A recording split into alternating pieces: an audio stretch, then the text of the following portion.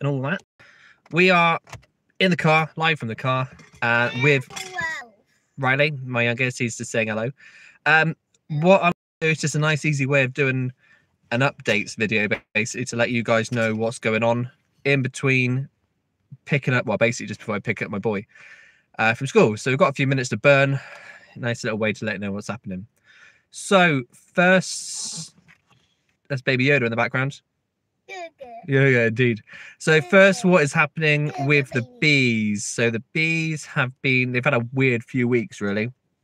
So they've had a weird few weeks and swarming has gone a bit mad and all that sort of stuff. So what I've done is I've kind of just left them alone for a couple of weeks just to leave them, to let them sort themselves out.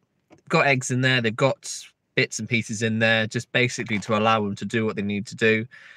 And what I've um press the buttons. So what basically what I want to do, I just want to give them a couple of weeks to sort themselves out, and then we're going to go back in. Now today's Wednesday, I think. Tomorrow, I'm hoping to get up to the yard, hoping to get into the hive to be able to check them over to make sure they're all right, see what they're doing, see what they're growing, and basically just give them a complete check over. We are coming into June, so it's May now. June is it May still? June next month. It's nearly June if it's not already. And there's a few concerns about the June gap which people get. Now, I've for the last few years haven't noticed a June gap and haven't really experienced that for quite some time. First couple of years I did. So 18, 19, 2018, 2019, I kind of noticed it. But the last couple of years, I haven't really noticed it. And so that being the case, I'm not overly concerned about it this year. The reason being the brambles are already starting to come out, so this should be a good source of food. I haven't taken a spring harvest out of them either, so there should be some food in there for them as well. So not concerned about a June gap uh, at this point, but that might change if I. Hello. I beg your pardon. Hello. Hello. So that might change if I look into the hives tomorrow. So we'll see. Um, so that's bees. So hopefully we're going to get into them tomorrow, check them all over. Obviously, a decent video, hopefully to follow with that one as well. Uh, so bees, well done. So moving on to what we're doing with the yard. Ran ran a vote. Okay, that's not easy for someone to say that can't say their R's and V's very well. Ran a vote. That yeah, a little while back on my community page, um, basically asking what people want to see or what should I be doing at the bottom half of the yard. Now it is quite a big section of yard, and the plan was originally going to be to put in um well, I've had so many plans down there. I was going to put in uh, a, new, a new shed down there. I was going to be putting sunflowers down there what I've quite like to do is I've tried for ages is um, a grapevine or a little vineyard sort of area. But there's obviously been a mix to that about having that put up and also putting in some uh, wildflower. So what I'm going to do is I am going to do a bit of a mix. I'm going to do a mix of flowers in there and I'm going to do a few vines as well. So that's going to be hopefully started tomorrow as well. Now, if I've got time, by way of starting I don't mean I'm building anything or planting anything at the moment. I just need to get it all trimmed down and I need to get it all as tidy as I can. Then I need to rotivate it all and all that. That's going to be a job in itself. So I went down there a week ago, a couple of weeks ago now, and the grass was up to, well, it was up to well past my waist, basically. The grass is really, really long. So I need to get down there. I need to get it tidied up, first of all, before I can even consider getting anything built or planted down there.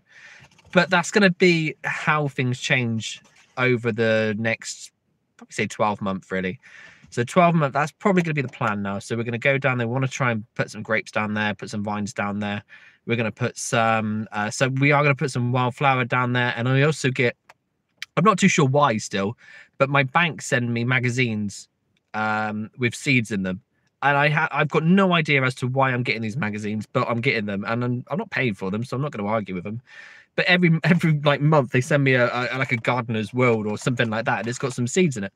No idea what the seeds are. I can't for the life of me recall. Actually i've got something here saying that. Here we go. So i've got some cosmos. I've got some of them. I've got some different types of cosmos some of them. I've got I'm not too sure why I keep them in the glove box in my car either, or the centre console of my car either, but that makes sense. We got some of them, and we have got some wildflowers as well. So that's what I've got in my car, but I've got about 10, 15 packs of these things in my at, at home in the garage. And um, hopefully, I said I can chuck some of those in the ground as well. A, it gets them out my house, and B, it's well, it's free seeds at the end of the day. So- Yes, cracking. So I love you, Joe. So the ah, so the plan is we're gonna all right. So we're um get that all rotivated down, and we'll get that in the ground. We'll get the we'll probably buy some more wildflower seed mix as well. We're gonna chuck that in the ground as well. Yes, Riley. Yeah, I know. Yeah, great one. Well done. So we're gonna get that in the ground. We're gonna get that in the ground. The plan then is to get a simple trellis built for the vineyard. When I say vineyard, I'm not going to have like hundreds and hundreds of grapevines or anything like that. Two or three rows, maybe one row. I don't know. Put in like a, a irrigation system, not a fancy one or anything like that. Just a just a basic sort of irrigation system, which I'm going to be able to plumb into what will be the guttering for the shed when I eventually build one or get one put down there so that we can put down there as well. So that's bees. That's what we're planning on doing with the yards. Uh, as far as YouTube is concerned, and social media as a whole, I should say. Yeah. So YouTube to start with. We are last subscriber check was about 690 subscribers. So massive thank you to everybody that's joined us and subscribing to us and commenting to us and all that sort of stuff.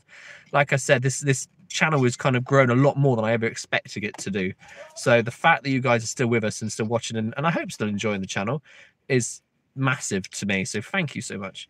And the other thing, social media wise, Facebook wise, we've got the Brooklands Honeybees Facebook page. That's really kind. That's to be honest, it's it's kind of more for like local people to see what's going on when we've got honey available. Really, um, Instagram, we've got some pictures going on, which is lovely. And we've just started, or we're trying to start TikTok. Now, I've never really understood TikTok, never really done anything with TikTok, but I downloaded it the other day. I've started a a, um, a page up. Funnily enough, it's uh, at Brooklands Honeybees, and you can find us on TikTok and go from there. It's um, it's not got a very big following at the moment. I said I've got a few people following the the um, the page, and I'm not really too sure about what I'm doing about putting things up there. But we've got some short videos which go up on TikTok, which I quite enjoy making, and some people enjoy watching them. So YouTube, Facebook, TikTok. I s- That just sounds weird to say, and um, Instagram as well. So there are social medias. Uh, so that's bees. What hopefully we're doing. Uh, the yard. Hopefully what we're going to be doing. Social media sort of side of things. What we're going to do doing. Have I got to say anything else? Riley? Have I got to say anything else? No. No. Okay. So that's pretty much it. Like I said, I, I'm probably going to do a few of these lives going forwards, just purely because the fact that it's um it's an easier way of giving some sort of updates. My phone is now telling me that it's overheating, so I'm gonna have to stop it there anyway. Uh, but like I said, a few a few updates in the future coming this way. So keep your eyes peeled. We'll have loads more coming, and fingers crossed, we'll have a video coming up in the next few days as well. And that's going to be mainly of us doing the work at the yard and also checking over the bees as well. So that being said, massive thank you for watching. Massive thank you for sticking with us. Massive thank you to everything. Like I said, our our goal for subscribers this year was 700. We're currently at 690. So please, if you haven't already, consider giving this channel a subscribe, share, comment, like, all that sort of jazz.